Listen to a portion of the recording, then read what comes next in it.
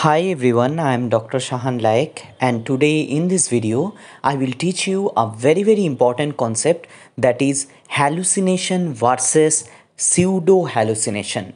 Many students don't know what is the difference between hallucination and pseudo hallucination. People generally knows the difference between hallucination and illusion and that is also very common. But today i will teach you what is the difference between hallucination and pseudo hallucination because question has come in fmge NEET PG and INICET examination regarding pseudo hallucination so if you don't know about pseudo hallucination that is very very important. So let us learn what is the difference between hallucination and pseudo hallucination now look at this picture here on the left side we have true hallucination. On the right side we have pseudo hallucination.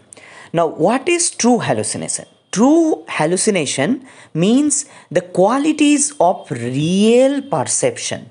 That means the patient will think, the patient will understand that it is a real perception which is there in the outside world which is there in the outside world the patient can actually hear it suppose the patient is having auditory hallucination. So the patient can actually hear that someone is talking in his or her ears. So through the sense organ the person can realize that it is a real perception. The qualities of real perception is there in true hallucination as if it is real true hallucination. But in case of pseudo hallucination the patient will think that the hallucination is coming from the mind. It is there inside the person inside the patient only. The patient will not think that it will come from outside. It is from inside. It is inside the mind of the patient. That is pseudo hallucination and the hallucination is not clear it is not as real perception. So the perception is also not real. It is not real. The patient will understand it is something inside the mind or of his mind. It is not coming from outside and it is not real. The patient can understand. That is pseudo hallucination next is true hallucination is un controllable uncontrollable. You cannot control. The patient say i cannot control when someone uh, speaks to me someone talks to me in in my ears. So that is auditory hallucination. The patient cannot control it. Uncontrollable. True hallucination. But pseudo hallucination it's somehow somehow the patient say he can control. Totally it is not controllable but it is a little bit controllable so pseudo hallucination a little bit controllable which occurs inside the patient's mind. It is inside the patient. It is not outside. Pseudo hallucination is inside the patient mind and the patient can control a little bit, little bit controllable. So it is controllable.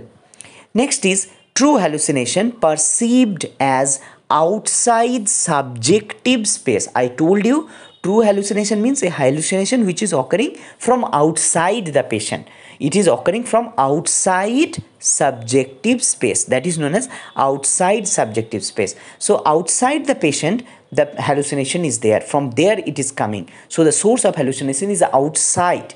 That is the patient will perceive someone is speaking from outside in his ear. So the um, the perception is from outside outside subjective space. It is coming from perceived as uh, outside subjective space but in case of pseudo hallucination, the patient will uh, say that the hallucination is coming from inside of the mind, inside of his mind. Someone is speaking in the mind and someone is speaking and that is also not clear. So it is within the subjective space, within the patient, within the patient mind, within the subjective space that is within the subjective space. That is pseudo hallucination. Okay.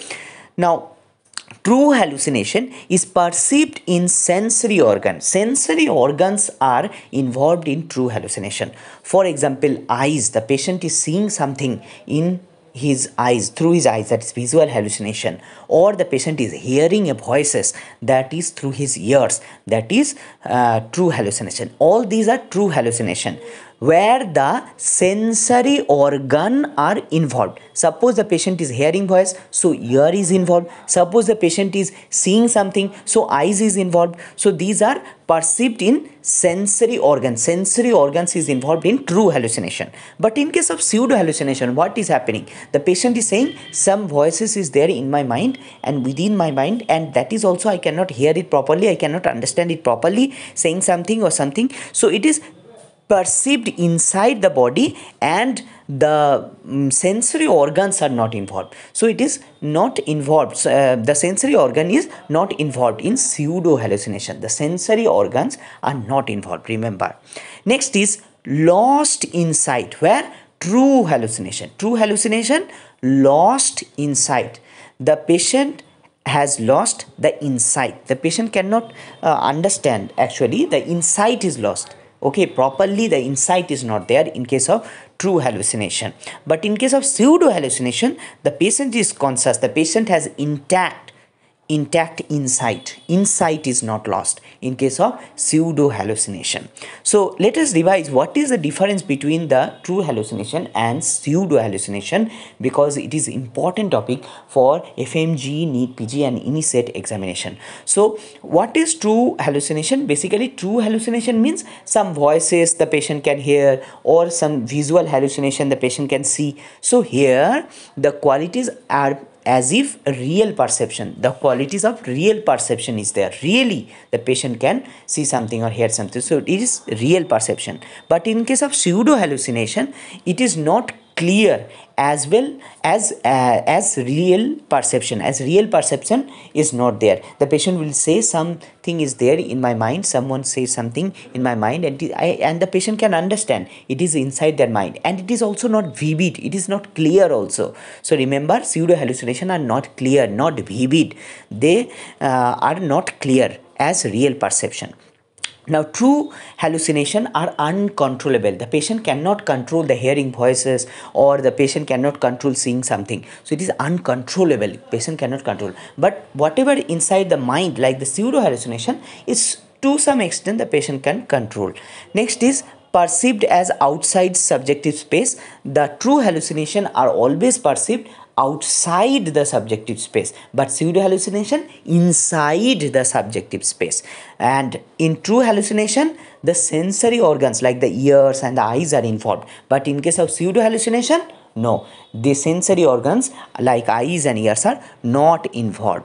Next is insight is completely lost. Insight is lost in case of a hallucination true hallucination. But insight is intact. The patient can understand in case of the pseudo hallucination. So these are the differences between true hallucination and pseudo hallucination which is very very important for your exam. Thank you so much for watching this video. Please subscribe this channel. Don't go without subscribing this channel.